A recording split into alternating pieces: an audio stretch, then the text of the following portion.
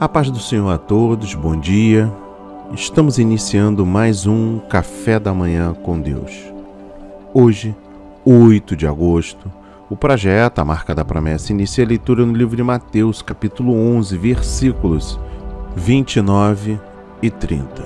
E a palavra diz: Tomai sobre vós o meu jugo e aprendei de mim, porque o meu jugo é suave e o meu fardo é leve.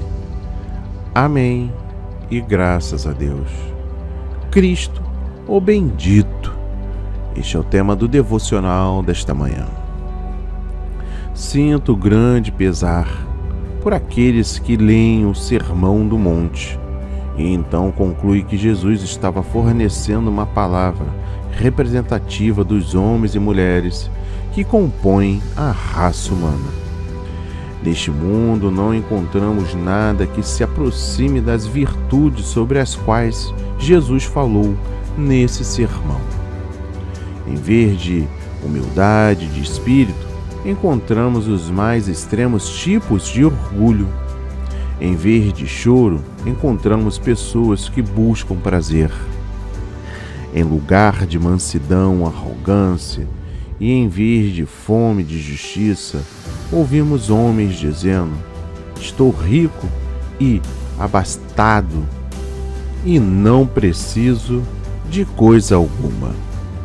Apocalipse, capítulo 3, versículo 17. Em vez de misericórdia, encontramos crueldade. Em lugar de pureza de coração, ideias corruptas. Em vez de pacificadores, encontramos homens irracíveis e ressentidos, lutando com todas as armas a seu alcance. Jesus disse que veio para nos libertar de nossa triste herança do pecado. Abençoado é o pecador que descobre que as palavras de Cristo são a própria verdade, que Ele é o bendito que veio do alto para outorgar bem-aventurança à humanidade. Vamos agradecer ao Senhor por mais um dia de vida. Obrigado, Pai, por teu convite de braços abertos a teus filhos, para que lancem todas as suas preocupações terrenas sobre ti. Senhor, ensina-me a confiar em ti mais profundamente Neste exato momento, meu Pai, entramos em concordância com seu Espírito para agradecer por mais um dia de vida, para agradecer o respirar, o acordar, para agradecer o café da manhã, a oportunidade para irmos ao local de trabalho, para buscar empregos, para ir numa consulta médica, meu Pai. Obrigado, Senhor, pelas suas infinitas misericórdias. Neste exato momento, Senhor, pedimos proteção para as nossas famílias, os nossos filhos.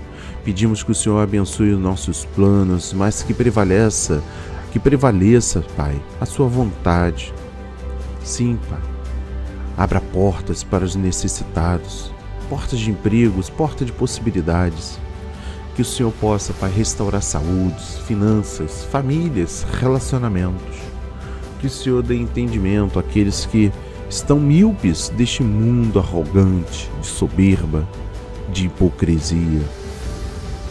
Meu Pai, que os seus planos sejam melhores do que o nosso, meu Pai, porque nós sabemos que as suas promessas não são falhas.